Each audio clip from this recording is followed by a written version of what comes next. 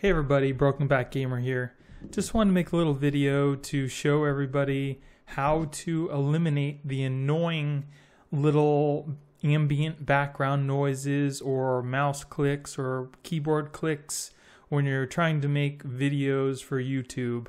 Um, I'm using a Blue Yeti and uh, I, I don't have a boom mic stand. I just have it sitting on my desk and it picks up a lot of uh, little clicks and little taps all the time. And I didn't want to spend a lot of money to get a spider uh, cage for the mic or a boom mic stand. So this is the cheapest way that I found to get rid of the little clicks and little annoying, annoying uh, background noises in uh, Vegas.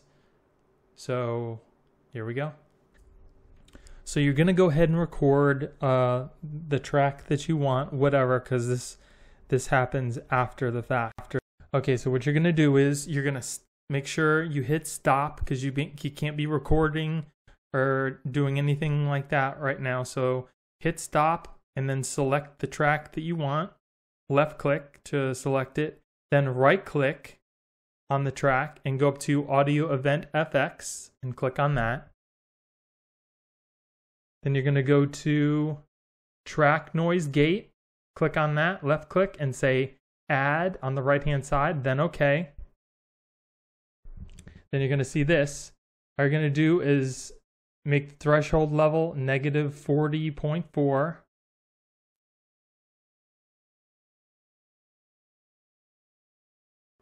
Then what you're going to do is you're going to go into the preset where it says untitled, click in there, rename it whatever you want, just so you can come back to this very quickly, uh, and hit the little the little disk to save it, and then X out of it.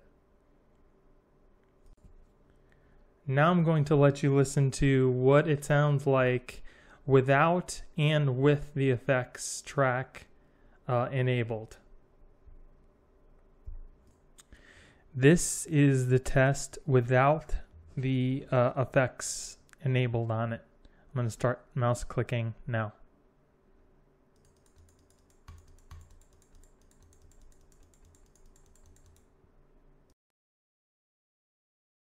So this is going to be the track with the audio effects enabled. I'm going to start clicking the mouse now.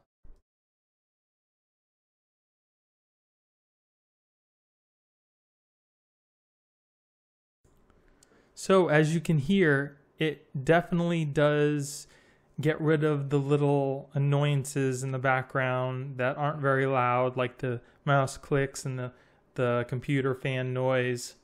So if you have Vegas Pro, this is the simplest, cheapest way to get rid of those noises without having to buy boom mic stands and all this other stuff. So uh, I hope you guys liked the video and I hope this helps you out a little bit. I know it did me.